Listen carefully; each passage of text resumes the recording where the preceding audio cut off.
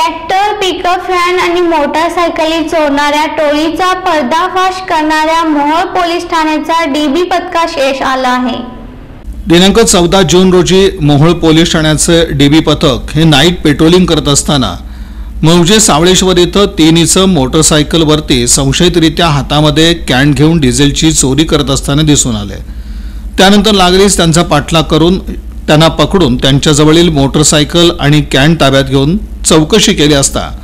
त्यांनी प्रथम उडवाउडवीची उत्तर दिली त्यानंतर त्यांना अधिक विश्वासात घेऊन चौकशी केली असता. त्यांनी मोहोळ शेटफळ सावळेश्वर इथं डिझेल चोरी केल्याचं कबूल केलं असून सदर चोरी केलेलं डिझेल हे त्यांनी चोरी केलेल्या वाहनामध्ये आणि विक्रीसाठी वापरत असल्याचं सांगितलं. त्यांच्याकडं त्यांच्या ताब्यात मिळून आलेल्या मोटरसायकलीबाबत चौकशी केली असता त्यांनी ही गाडी पुणे येथून चोरी केल्याचं सांगितलं.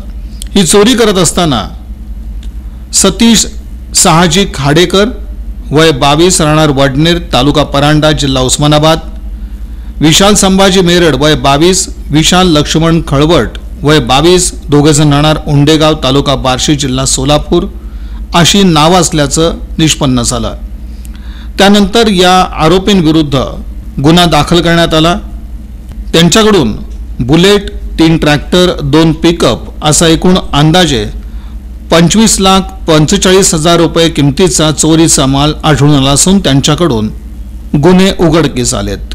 ही कामगिरी पोलीस अधीक्षक तेजस्वी सातपुते अप्पर पोलीस अधीक्षक हिम्मत जाधव उपविभागीय पोलीस अधिकारी अमोल भारती यांच्या मार्गदर्शनाखाली मोहोळ पोलीस ठाण्याचे प्रभारी अधिकारी पोलीस निरीक्षक Ashok Saykar police head constable Sachin Mane Amol Gholve Pravin Sathe Siddhanath More महिला पोलीस नाईक अनुसया बणगर चालक पोलीस कॉन्स्टेबल सिद्धेश्वर थोरात यांनी कारवाई केली.